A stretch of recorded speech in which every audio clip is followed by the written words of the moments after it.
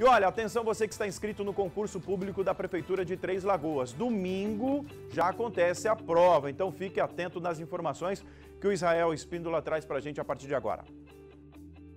Atenção aos candidatos que fizeram inscrição para participar da prova objetiva do concurso público para o quadro efetivo da Prefeitura de Três Lagoas. No domingo, dia 30, acontecem as provas. De acordo com o secretário Gilmar Taboni, está tudo pronto.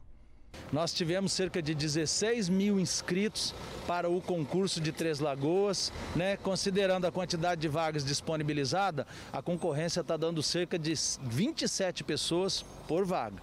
Então vai ser bastante puxado sim. Espero que as pessoas tenham se preparado bastante, estudado bastante, porque agora é a hora da onça beber água. Agora é a hora da verdade. Então, quem estudou, com certeza terá uma grande oportunidade de estar trabalhando conosco aqui em Três Lagoas.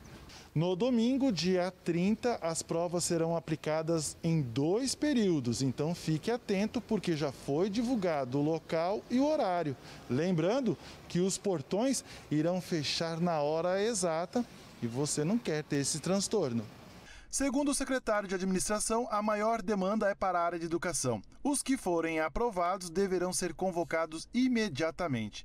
De acordo com Gilmar Taboni, o número de vagas abertas não é o suficiente e não descarta no futuro um novo concurso. É, é, importante destacar que as vagas colocadas em concurso, elas devem existir.